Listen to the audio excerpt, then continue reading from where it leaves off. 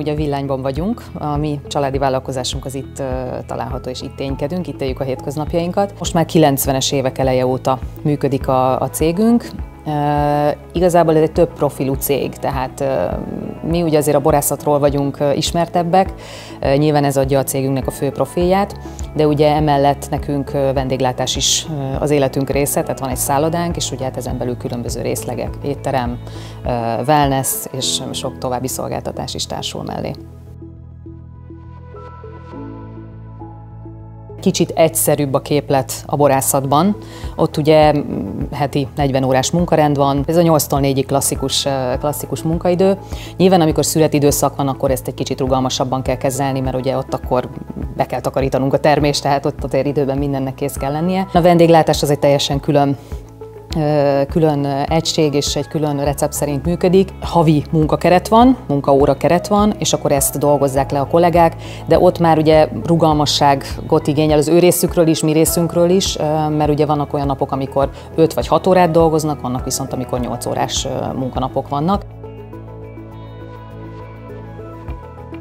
A borászat az ugye inkább egy agrár tevékenységet folytat, és ebből következően inkább férfi dominancia uralkodik ebben a, ebben a szegmensben, és körülbelül kétharmada férfi, egyharmad női munkatársakkal dolgozunk. A szállodában már ugye egy egészen más igény jelentkezik, hiszen a szolgáltatóiparból, meg a szállodaiparból, meg a vendéglátásból kifolyólag sokkal inkább az idegen nyelvekre tevődik a hangsúly az agrár tudáshoz képest. Ott inkább a szolgáltatásokból kifolyólag is olyan nagyjából fele-fele 50-50 százalék a férfinői megoszlás. Illetve ugye ennek a 75 főnek kb. a kétharmad az, aki a szállodában dolgozik, ugye ez elég nagy emberigényű, nyilván ugye a sokféle szolgáltatásból fakadóan is, és az egyharmaduk az pedig a, az pedig a borászatban.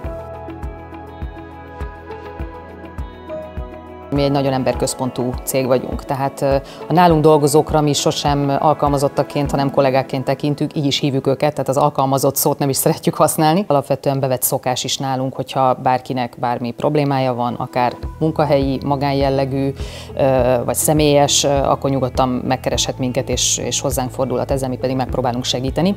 Nyilván vannak részmunkaidős foglalkoztatások, ugye egyesről visszaérkező anyukáknak a visszafoglalkoztatása, nyilván azt már rugalmas munkaidőben, négy órás munkaidőben, nyugdíjas kollégáknak a visszafoglalkoztatása is, ugye ez is jellemző, mivel ők azért olyan tapasztalattal rendelkeznek, amit nem szívesen engednénk el mi sem. Ő nekik is jó, mert hasznosnak érzik magukat. Illetve hát amit végül mégis kiválasztottunk, és amiről így bővebben szeretnénk beszélni, az tréningek voltak, ami kiterjedt egyrészt személyiségfejlesztő tréningre, stresszkezelésre, ugye úgynevezett, az úgynevezett burnout kezelésére, ugye erre különböző technikákat tanítottak, hogy hogy lehet ezt elkerülni, illetve kezelni, illetve kommunikációs tréningek a kollégáknak. Ez legfőképpen a szállodában dolgozókat érintette, de hát ugye, ahogy említettük is, azért a kétharmada a csapatnak az ott dolgozik. Alapjában véve egy, egy nagyon pörgős, gyors világban élünk, és a szolgáltatóiparra egyre fokozódó mértékben helyeződik egyfajta nyomás. Azon túl nyilván, hogy nagyon fontosnak tartjuk a kollégáinknak a, a úgy mentális jólétét. Érzékeltük azt, hogy ez a nyomás, ez, ez azért elég komoly terhet tud róni egy csapatra és keresnünk megoldást erre, hogy, hogy mi az, ami, amivel tudnánk segíteni az ő munkájukat. Őket kvázi felvértezve olyan tulajdonságokkal, olyan, olyan információkkal, vagy olyan készségekkel, amelyekkel fel tudják venni ezt a, ezt a versenyt, illetve ami, amennyiben ő, önmagukban is jobbá tudnak válni, és egymás számára is jobb kollégákká tudnak, jobb csapattá tudnak érlelődni. Az egyik kollégámat tudom felhozni jó példaként. Ő volt az, aki nekem ezt konkrétan szóvá tette. Teljesen más, más részlegen dolgoznak ő és az egyik kollégája. Nem nagyon volt közöttük interakció. Ő csak gondolt valamit arról az egyénről, a külcsénye alapján, a megnyilvánulásai alapján, hogy ő milyen személyiség, és kiderült, hogy ő teljesen félreismerte. Volt egy, egy ilyen közös kommunikációs tréning, amin, amin részt vettek, és kiderült, hogy hát igazából ők személyiségben nagyon közel állnak egymáshoz, és azóta sokkal többet beszélgetnek egymással, többet találkoznak, nyilván a részlegek közötti együtt munkálkodást is segíti ez a, ez a fajta hozzáállás, úgyhogy például egy ilyen pozitív visszacsatolás már volt a, a kollégák részéről. Két harmadát érintett körülbelül a, a képzés a, a kollégáinknak, azt a két harmadot, akik a leginkább, akiknek leginkább szüksége volt erre a jellegű képzésre, de természetesen gondolkodunk arra, hogy ezt kiterjesztjük a jövőben a teljes csapatra.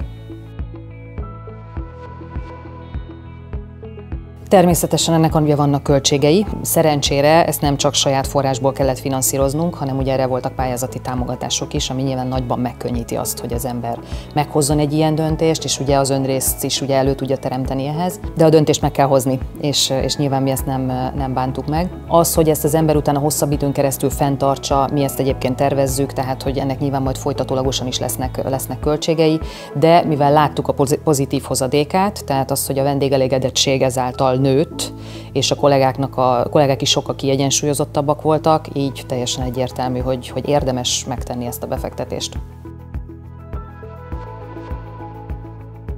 Mindenképpen azt tanácsoljuk nekik, hogy ne féljenek belevágni, bármennyire is ugye ismeretlen még ez a terep.